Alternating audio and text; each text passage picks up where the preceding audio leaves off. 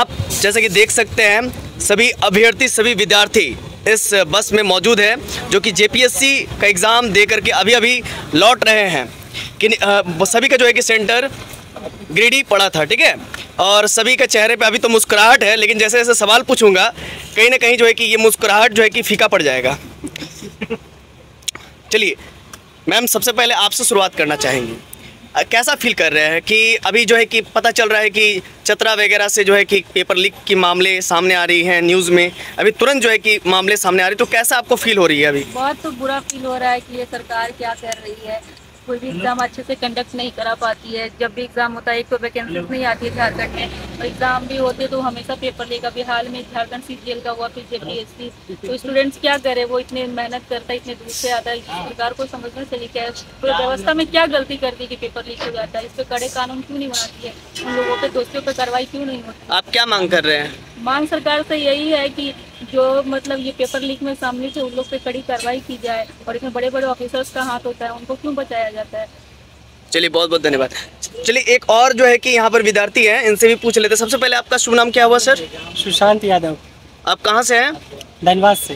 धनबाद से। आपका सेंटर कहाँ पड़ा था? गिरिडीह तो कैसा रहा आपका एग्ज़ाम एग्ज़ाम तो अच्छा था एवरेज ऑन एन एवरेज अच्छा था। हो जाता है इस बार? हाँ प्री तो निकल जाता। तो अभी जो है कि न्यूज़ अभी तुरंत संज्ञान में आया है। चतरा जिला से जो है कि पेपर लीक का मामला सामने आया है। अच्छा एक जो है कि बच्चे यहाँ पर असमंजस में हैं कि सील टूटा था सील खुला हुआ था, या फिर बच्चे जो है कि मोबाइल में जो है कि आंसर ले करके आके जूम कर करके, देख देख करके लिख रहे हैं। इस पर आप क्या कहना चाहेंगे? ऐसा तो ये तो अभी हमें, हमारे सेंटर पे ऐसा कुछ भी नहीं हुआ था। ये तो हमें न्यूज़ में मिल रहा। अच्छा। आगे क्या है? इस पे सरकार अपना कार्रवाई करेगी। एक तो हम लोग सुबह से छः घंटे तीन घंटा बस में बैठ के धनबाद से गिरिडीह गए और फिर वापस आ रहे हैं अभी रास्ते में जामे तो सरकार को तो पहले ये सोचना चाहिए कि जो लोकल लोग हैं उनको वहीं पर सेंटर देना चाहिए। एक तो ये सेंटर चेंज करते हैं कि चोरी ना हो फिर भी चोरी हो जाता है। ये कैसा एग्ज़ाम ले रहे हैं? आपकी क्या मांग है? हम हमारी ये मांग है कि एग्ज़ाम ट्रांसपेरेंट तरीके से हो। अच्छा अभी अभी का जो अ, मामला संज्ञान में आ, जो आ रहा है इसके परिप्रेक्ष्य में आप क्या कहना चाह रहे हैं? मतलब कि क्या होना चाहिए? आगे का? इस पे हम ये कहना चाह रहे हैं कि सरकार को सबसे पहले तो सरकार के ऊपर में कड़ी से कड़ी निंदा कर रहे हैं और सरकार को चाहिए कि अच्छे तरीके से एग्ज़ाम हो अब हम लोग चलो चलिए ठीक है एवरेज है लेकिन जो गरीब लोग हैं और सरकार बड़े अपने आप को आदिवासियों का नेता कहते हैं थोड़ा उनके बारे में तो सोचे वो तो बहुत लोअर क्लास से आते हैं वो कहाँ से पैसा लाएँगे? कितने घंटे दूसरे दूसरे शहर में कैसे रहेंगे? उनके बारे में तो सो, सोचे। वो आदिवासियों के शुभ चिंतक है और आदिवासी हो जो भी हो पूरे झारखंड के लोगों को परेशान करके रखे अच्छा मामला ऐसा सुनने में आ रहा है कि पेपर को बेचा गया लाखों लाखों करोड़ों रुपए में? देखिए इस पे मैं कोई कमेंट नहीं करना चाहूँगा क्योंकि मुझे कोई सबूत नहीं पता है।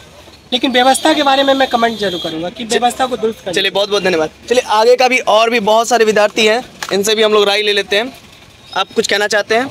मैं यही कहना चाहता हूँ एग्ज़ाम फेयर होना चाहिए कैसे वो कहीं भी हो अच्छा। हो मुंबई हो या जे झारखंड का हो कहीं तो अभी जेएसएससी का भी एग्ज़ाम जो है कि रद्द हो गया तो उसके बारे में मुझे नहीं पता कोई आइडिया नहीं है। और अभी जेपीएससी का जो है कि आप लोग एग्ज़ाम तो फेयर होना चाहिए फेयर बिल्कुल होना चाहिए। सरकार इतने लोगों की परेशानी होती है कोई गरीब का घर घर से आता है कहीं से भी बहुत दिक्कत झेलनी पड़ती है है ना? तो मतलब यहाँ पर एक मामला संज्ञान में आ रहा है कि पैसे लेकर के जो है कि पेपर लीक किया जा रहा है। वो हो सकता है। इसमें किसका हाथ हो सकता है? आपको क्या लग रहा है? नेक्सस है तो है। इसमें तो नेक्सस तो जुड़ा हुआ ज़रूर हो जुड़ा जी। तो मतलब कि आपके क्या मांगे अभी? एग्ज़ाम ठीक से फेयर होना चाहिए। फिर से फेयर होना चाहिए। फिर से एग्ज़ाम होना चाहिए। अच्छा एग्ज़ाम कैंसिल होना चाहिए। कैंसिल तो बिल्कुल होना चाहिए। चलिए। एक और अभ्यर्थी यहाँ पर है। अभी जो है कि एग्ज़ाम जेपीएससी का आप दे करके आ रहे हैं। कैसा गया आपका?